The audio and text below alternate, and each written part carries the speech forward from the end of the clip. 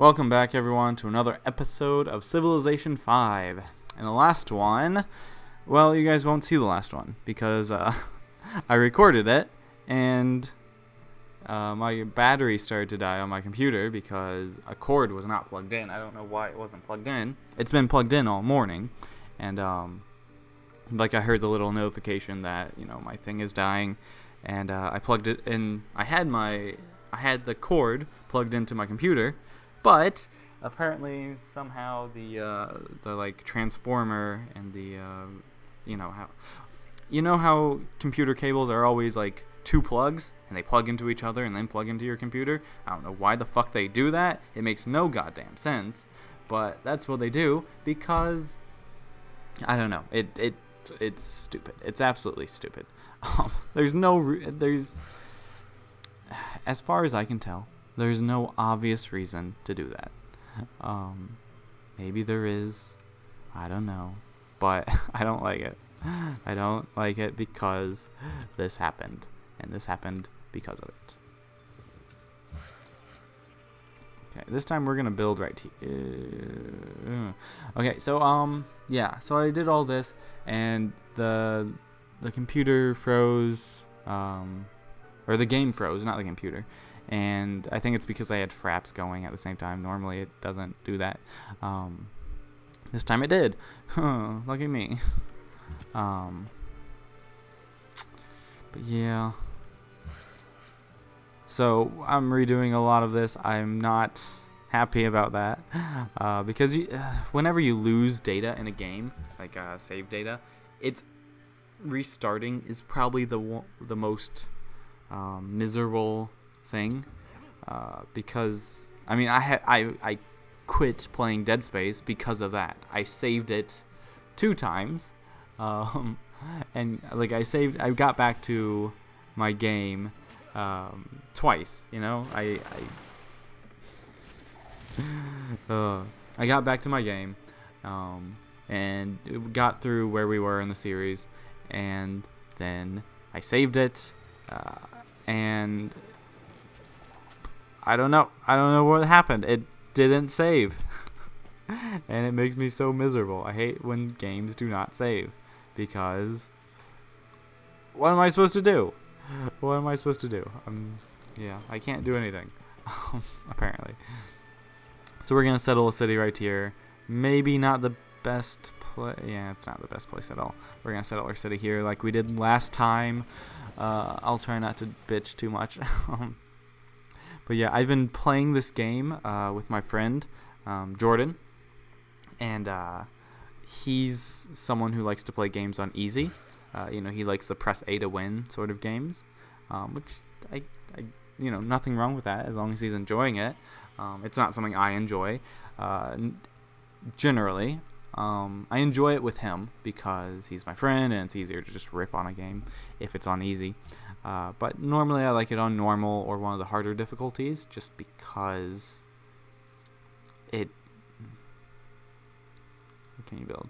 Uh, we want granary. We want food. Um, yeah. This place is a desert.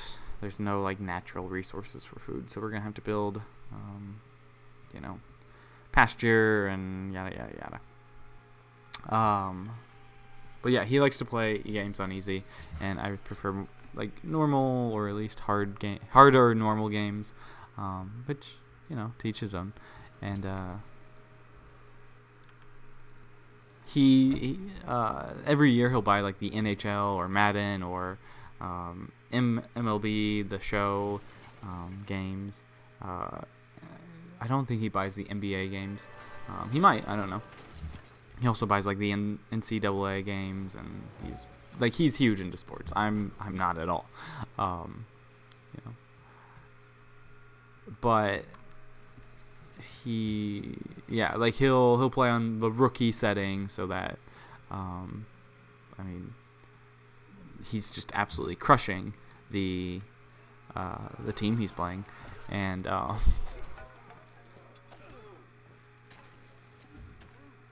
Like uh, when we play, we always play NHL because we love hockey. Um, that's like the one sport I actually enjoy, and um,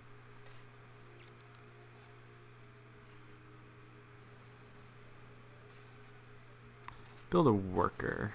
Yeah, we're gonna need more workers.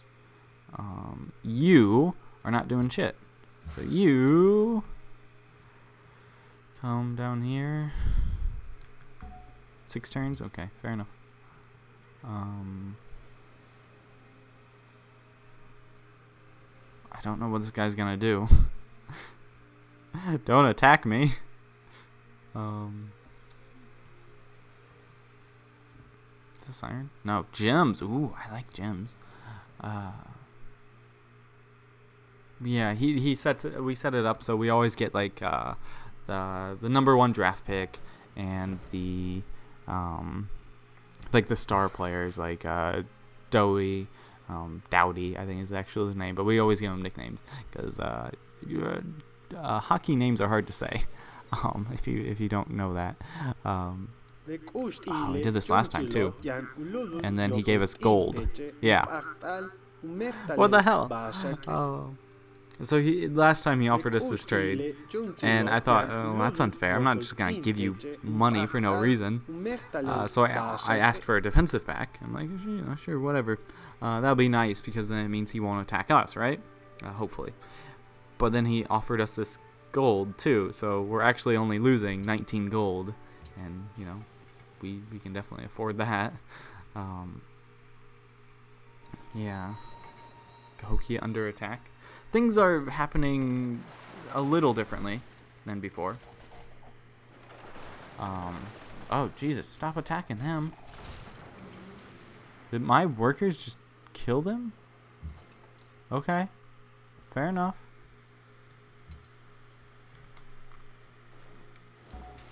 You guys need to heal. You guys need to get right there. Um...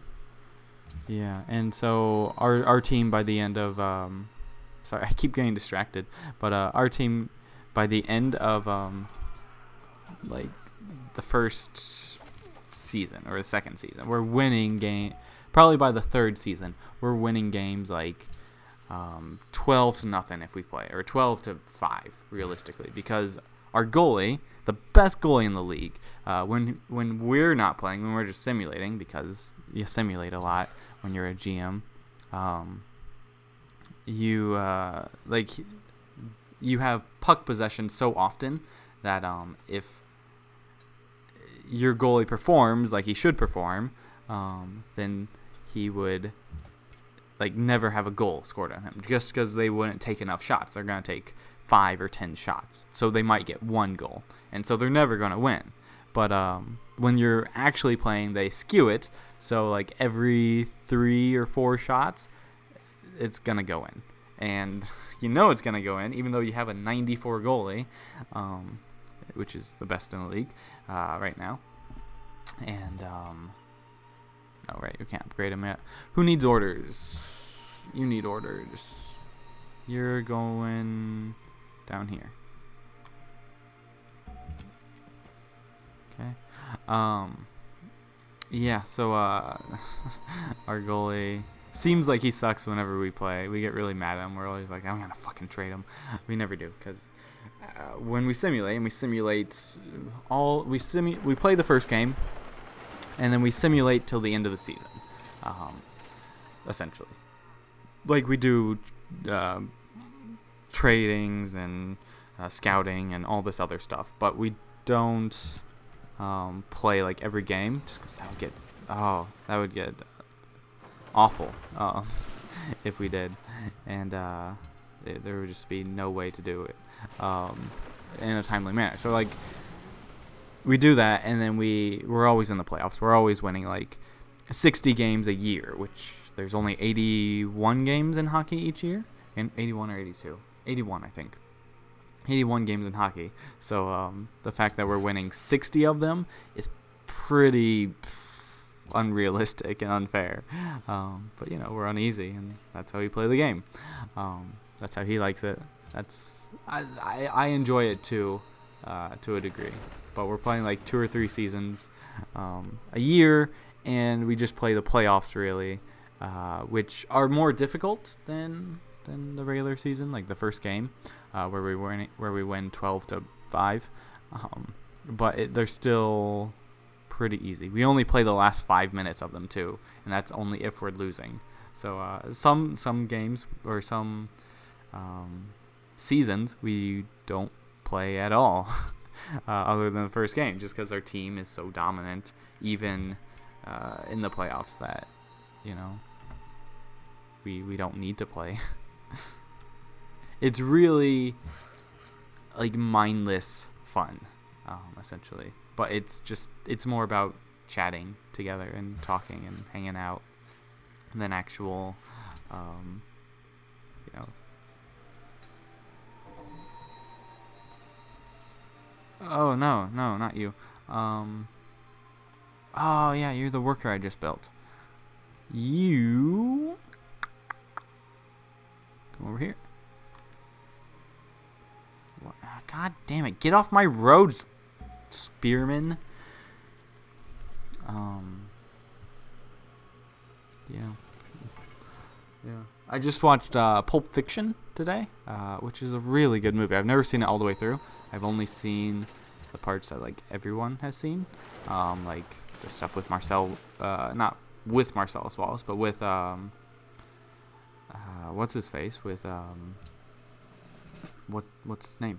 uh, Samuel L. Jackson, Jules, talking about Marcellus Wallace. You know, um, wh- what does he look like? He's black. Uh, what else? He's bald. Does he look like a bitch? What? And then Samuel L. Jackson shoots him. Um, the great scene. Uh, which that movie is really interesting uh, in how it's done, like time wise, um, because the first scene and the last scene uh, happen at the same time, and the second to last scene and the second scene happen roughly the same time. Um, and like you know, well, yeah. Um, there's there's a few scenes prior to it, but I mean like that time frame, um, and then it just like unfolds on itself. Where like in the middle is the only time where is like the farthest time in the series, like um, the stuff with Bruce Willis. That's like the farthest in the series I think maybe the stuff with Uma Thurman are at the same time. Um, it's hard to say, but uh, yeah, it does some weird things with time.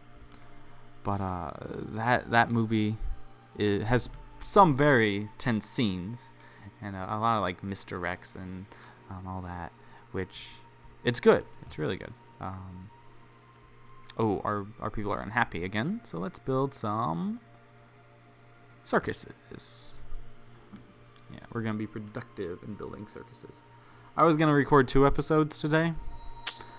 I'm still gonna record two episodes, but you're not gonna see one of them because it will be that lost episode, which I'm already. Uh, I didn't delete it because I thought maybe uh, it had auto saved or something. It hadn't. I was just being hopeful. and now I'm sad. I'm so sad. Uh, there's a mo- oh god, the barbarians are attacking my workers. Um, how long is it gonna take you to get here? Two turns. You're not gonna survive that. You're gonna come back here. Fuck. You can you attack him? Yes, you can. I fucking hate the barbarians. they're impeding my production. Um, but yeah, I, I, watched this other really interesting movie, probably more interesting than Pulp Fiction, called uh, Super with uh, Rainn Wilson from The American, The Office. Um, not The American, The Office. The American Office. Uh, that's the natural way to say it. Otherwise, you sound like a fucking idiot. Um, which people to try and be like, proper about it. They say the American The Office, which is just stupid. It's so stupid. Just say the American Office, okay? we we know what you're talking about. Um, you don't have to add the to every everything that has the. We're we're still gonna understand. Um, no need to be a purist about it. Um, but yeah, it has Rainn Wilson. He stars this like loser named Frank who knows he's a loser and he's okay with it because he's married to this woman who um, Liv Tyler, Liv Tyler, named Sarah, I believe. uh, who's you know she's good looking. She's uh, she appreciates him in the beginning, and she's like a recovering alcoholic, and he thinks it's like his job to save her. And you know she also takes care of his loneliness, and um, but she relapses into uh, alcohol and drugs, and she fa- falls for Kevin Bacon. Um, and before, uh, before Rainn Wilson, Frank realizes that um, uh, things are going on, uh, Kevin Bacon stops by, um, and Sarah's not not there, and uh, Frank is making breakfast, and um, you know he makes eggs for his rival, and um, it's just like it's this really well played scene because you know Kevin Bacon's a little cocky. He's um, a little cocky, but he's cool. He's calm. He's uh, very relaxed uh, throughout the whole thing. And uh, once Frank realizes what's going on, um, he like flips out and he goes and tries to find Sarah, and he finds Kevin Bacon and Sarah together, and he thinks like, oh, she's being kidnapped or something. You know, this this person's a bad man. He's a drug dealer.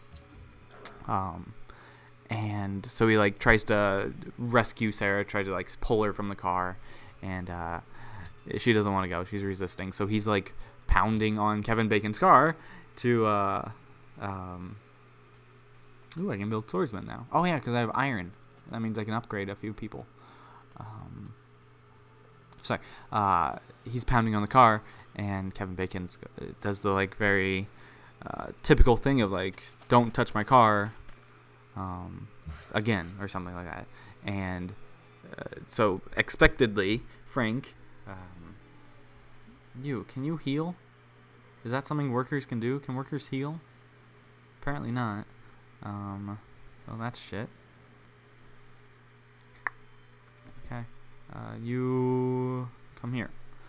Um, but yeah, uh, so expectedly, uh, Rainn Wilson, like, you know, defiantly, gingerly puts one finger on the car, and um, Kevin Bacon is like, that. That's not what I meant. measurable.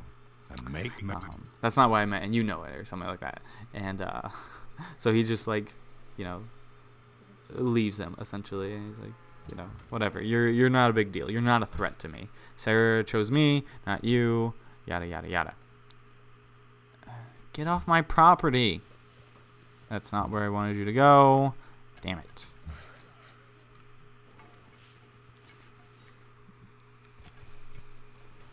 Um, but yeah, like in the beginning of the movie, we we find him kind of sympathetic, um, you know, relatable.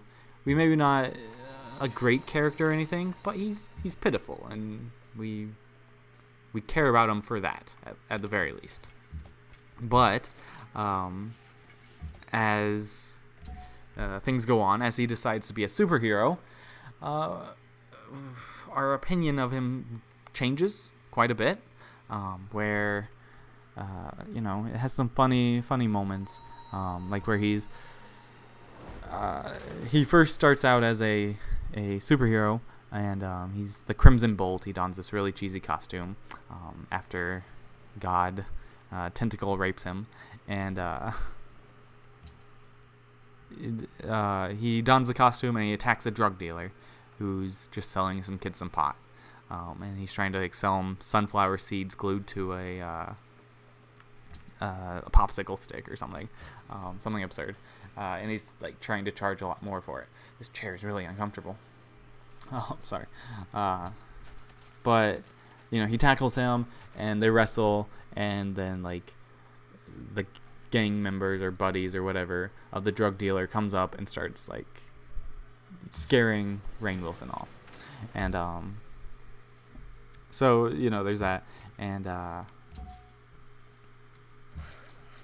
build a quarry. Um, there's that, and so like he he needs a weapon. He decides he needs a weapon, and he grabs. Um, he uses a monkey wrench. It's kind of a, a fitting weapon. It matches his costume, um, but it's also a weapon that's gonna do a lot of damage. Um, and like the audience kind of recognizes that I think right away, um, where they're like, this this is like a, a serious weapon. This this will actually hurt someone, um, and if he's just like attacking drug dealers or something, they don't deserve to have their skulls split open with this.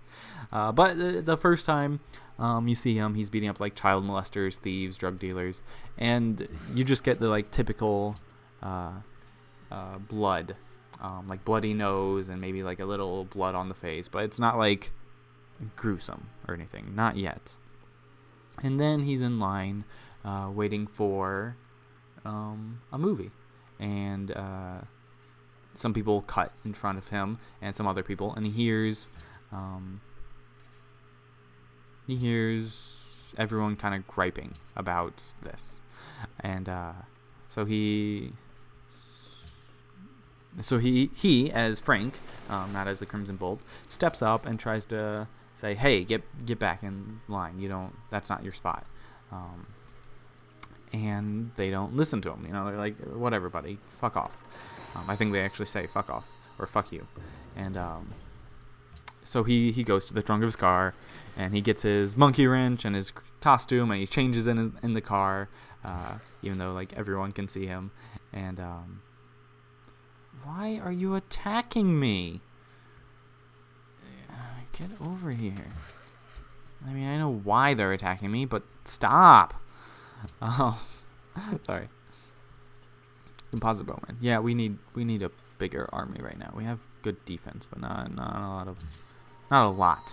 Okay, it might be good, but it's not a lot of it.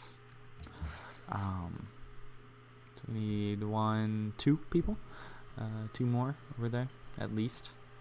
Um, so yeah, yeah, he goes to the trunk of his car. He gets his monkey wrench, and uh, he's prepared to dole out justice to these uh, line cutters, and um, he they they realize who he is, and I think he kind of panics, and um, he cracks one of them on the head, uh, which we see for the first time that he's doing real damage to this person, right?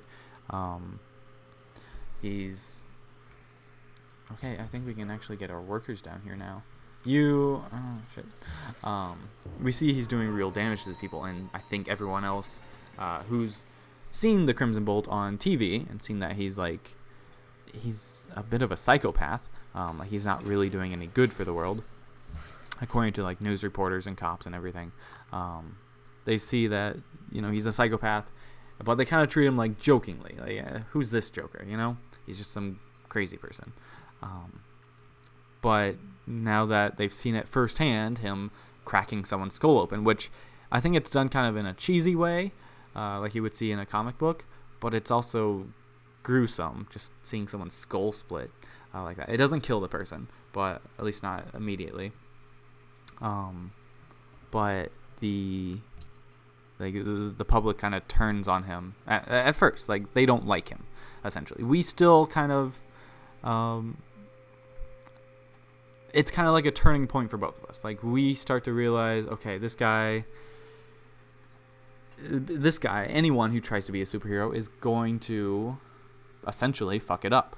Um, they're gonna be have to be a psychopath. This is what they're gonna have to do in order to uh, be a superhero like Batman. Um, which you know, uh, yeah, he's he's a bit of a psychopath too. He's just done in a movie sort of way, and this is done in a realistic way. But the audience, or not the audience, the um, the crowd, the people in um, the people in the movie uh, have kind of started to realize um, that he's not what they think he is either. They don't really know what he is yet. Um, they, they, you'll see. Uh, but you know, the Crimson Bolt, he his job was to win his wife back, and so he he thinks before he retires, um, he has to do this. He has to do that at the very least. And um, what should you build? You should build a monument. Yes, give us more culture. Um, so yeah, he's go he goes to get his wife, and he goes to Kevin Bacon's house. And him and his gang, they have guns, which apparently he's never um, encountered before. Uh, so it's a little. Um, so he, he gets shot, and it's just a little. Um, we, we start to kind of feel sympathy for him again. Like, he's doing this for a good reason. It's the pinch. It's reminding us of the main plot of why he's doing this, all that. Um, but it it also very much. Um, sorry, I'm getting distracted by trying to play a game and talk about this at the same time. Um, it reminds us that you know he's kind of a good guy, but he's also in way over his head. Um, he hasn't really thought this through. He's kind of an idiot, uh, frankly, and um, eh, frank, frankly, uh, yeah, he's kind of an idiot. But he, he gets shot and he goes to uh, this girl's house, um, Ellen Page. Yeah, that's her name. I, I was thinking like Page Ellen? No, Ellen Page. Or is it Ellen, Ellen, Ellen? Uh, no, but it's Ellen Page. And, um, uh, you go. Where should you go? Sorry, that was probably not a pleasant sound. Um, I don't know. Do nothing. uh, sorry, that's not the most efficient thing to do, but they're gonna have to do nothing eventually. Anyway, um, he goes to her house. Her house. She realizes he's the Crimson Bolt. She's known it all along. She's been helping him a little bit um, with all of his uh, his like things, and she works at a comic book store. So she's like really into the whole um, mythos of comics and everything. Um, she she thinks cheesecake comic, uh, uh, cheesecake art is uh, how a real superheroine or sidekick, as she becomes, um, should act. And uh, she's a little sex crazed. She's not the smartest person, and she's a bit of a lunatic. Um, on their first mission together, she kills a guy for keying her friend's car a year ago. Um, and and they're about to like kick out, and then um, uh, Frank and Libby like when they're discussing this, they're like, you know what, no more. There's gonna be no more sidekick. There's gonna be no more friendship. You know,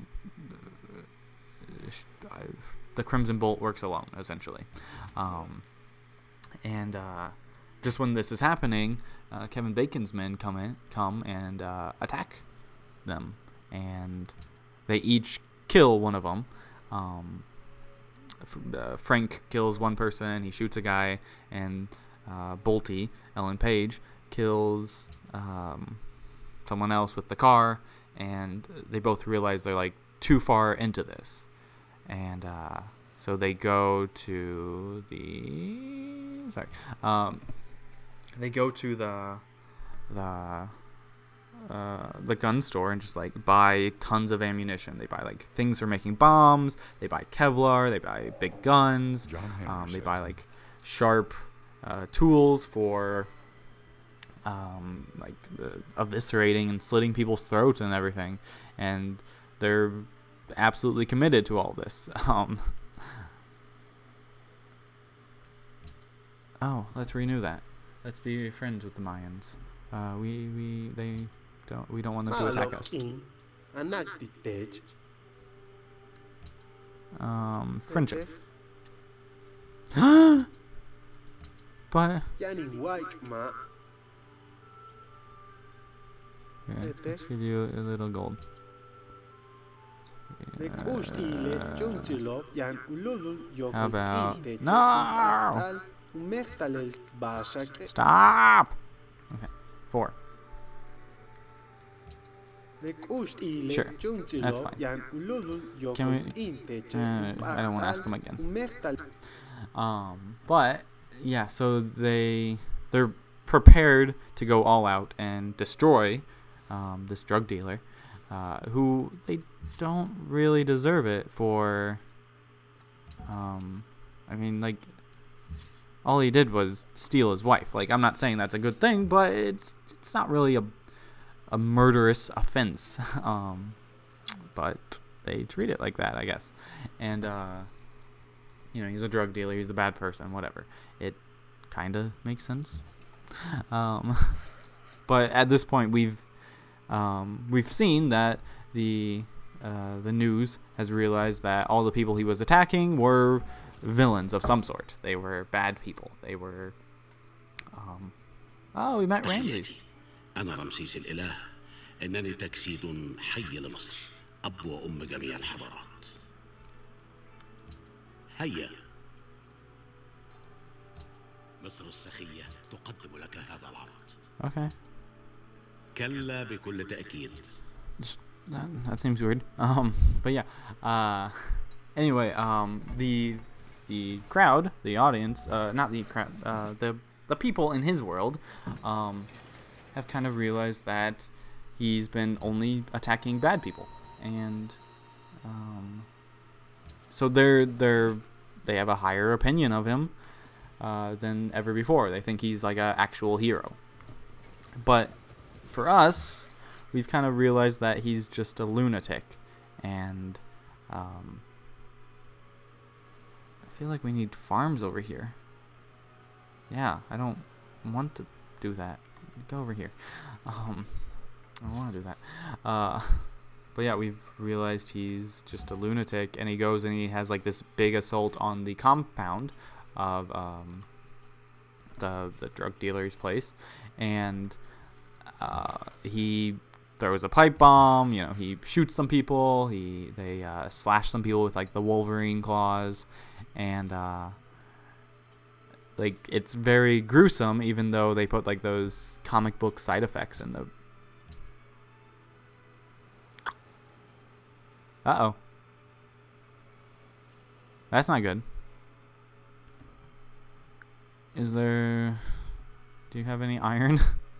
Can we trade? Malopkin, anak titej. Ah. You have no strategic. Wow. I might want to attack you. Sorry, no, I, I don't want to be a warmonger. We're, we're friendly people. Go on. Do you have any?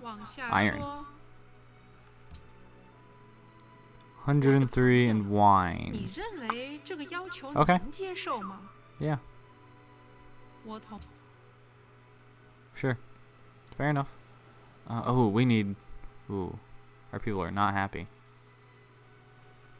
Um, let's build circuses or amphitheaters or anything that will make them happy.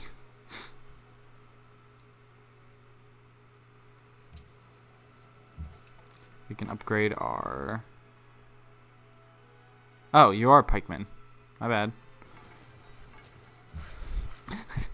yeah, not the best. Do I have pikemen here too? Oh, okay. Sorry, I thought we were still spearmen for some reason. I was wondering why we weren't there. But yeah, um, they go and like they like uh, they assault the compound and it's it's like ironically cheesy. Um, like where it has the it's ironically campy, I guess, where it has like the kablam sound effects, you know, the whack, pow, expl or bam, and yet like uh, after the pipe bomb goes off, um, some of the men come out uh, to see what's to you know they know what's going on. Like this element of surprise can only last as long as the pipe bomb, essentially. Except, um, and so, uh, hey, don't come into our lands. Um, so they come out and they have their guns ready. They're no longer caught off guard. Um, and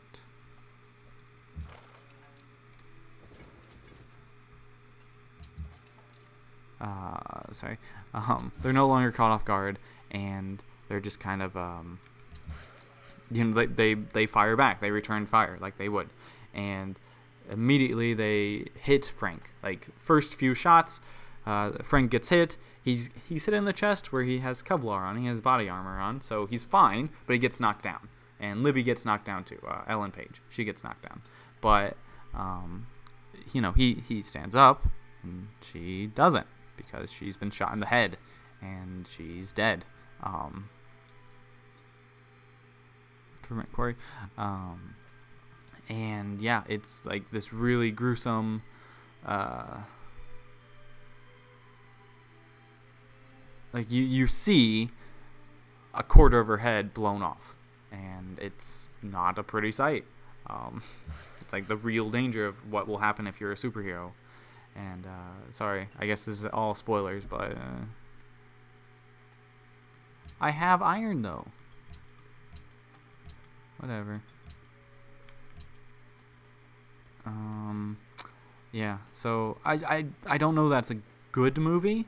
It's not entertaining. It definitely plays with your expectations. It's kind of marketed as a black comedy, but it's not all that funny. It's like disturbing, serious and disturbing um, by the end, and it's interesting. I think it's worth watching. I just don't know that it's um, yeah, I don't I don't know that you will and I don't know that you'll laugh or enjoy it really. It'll just be like this interesting interesting thing to tell your friends about. Um, tell other people about. That's what I'm using it for. uh, yeah. I don't know. Uh, it's done by James Gunn, who's the director of Guardians of the Galaxy, um, which is another really good movie that I'll talk about next time, I guess. Because hey, why not talk about movies every time I do this? Um, I'm not gonna do that. Uh, but yeah, it's it's definitely worth watching. Anyway, uh, I'm gonna end the episode as soon as it turns back to my turn. I don't know why I continued clicking buttons because I haven't really been paying attention. Um, I've been talking about this movie, which it really deserves my full attention to to talk about, just because I, I it, it's it's an interesting movie. It's a smart movie. Um, maybe read Roger Ebert's review of it. He gave it two stars. I think I'd give it like three stars if I were uh, reviewing. Like it's better than. It's not a bad movie. It's better than what he he seems to think it's um just anarchy by the end and um doesn't really know what its point is. But I think it does know what its point is. I think his are fueled by it. He's not part of the nerd culture and I am, and like as as a nerd, I've always dreamed of being like a superhero. But oh geez, we're losing money. That's bad. Um, why are we losing money? Unit maintenance, building maintenance, improvements, seven dollar civilizations. Mm. It's not good. You might have to get rid of some some things. Okay, we'll we'll worry about that in the next one. I'm gonna go get a burger. I'm really hungry. So uh, thanks for watching, and catch you later.